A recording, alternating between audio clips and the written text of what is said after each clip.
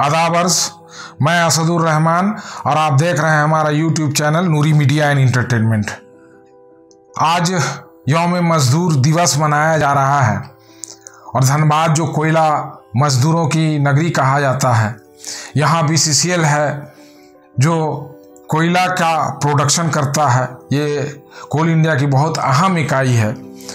इसमें ये मज़दूर दिवस काफ़ी अहमियत रखता है।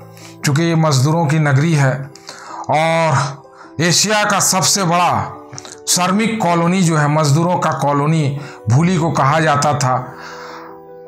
लगभग पाँच हज़ार क्वार्टर्स वहाँ हुआ करते थे, और लाखों की तादाद में बीसीसीएल में काम करने वाले लोग उसमें रहते थे। देखिए बीसीसीएल जो है, वो कोल इंडिया का बहुत अहम सब्सिडरी है, और यहाँ जो है कोकिंग कोल प्रोड्यूस किया जाता है। कोकिंग कोल प्रोड्यूस किया जाता है और इसमें इसको प्रोड्यूस करने में, इसका प्रोडक्शन में काफ़ी टफ भी माना जाता है। क्योंकि यहाँ का जो माइंस है, वो काफ़ी खतरनाक है और इसमें पानी भी है, गैस भी है और आग भी है। और हमारे मज़दूर जो हैं, वो सैकड़ों फीट नीचे जा कर के, हज़ारों फीट नीचे जा कर के अपने जा, जान को जोखिम में डाल करके ये काम को अंजाम देते हैं देश के लिए। कोरोना का ये काल चल रहा है इसमें भी ये काम रुका नहीं है। माइनिंग बदस्तूर जारी है ताकि देश का जो ऊर्जा की ज़रूरत है, वो पूरा होते रहे। और इस सिलसिले में यहाँ मजदूर दिवस भी मनाया या बहुत ही अहतमाम के साथ मनाया जाता है। और जो शहीद स्मारक है कोयला भवन में, इसकी बहुत ख़ास अहमियत है।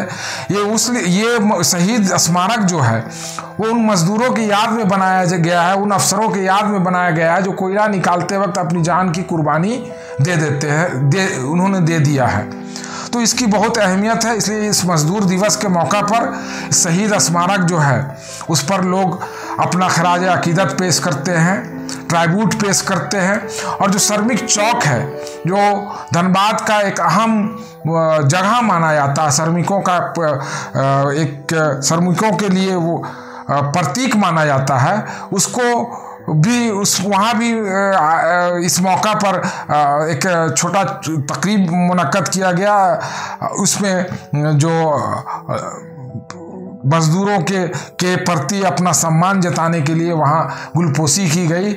इस मौके पर शहीदों के स्मारक पर जो है, बीसीसीएल के तरफ़ से निदेशक तकनीक संचालन श्री चंचल गोस्वामी निदेशक वित्त श्री समीरन दत्ता, निदेशक कार्मिक Shri P V R M Rao, chief vigilance officer Kumar Animesh CISF के उप महानिरीक्षक श्री विनय काजला और श्रमिक चौक पर जीएम वेलफेयर श्रीमती आहुति स्वयं ने हिस्सा लिया और श्रमिकों को खराज अकीदत पेश किया। बहुत बहुत शुक्रिया।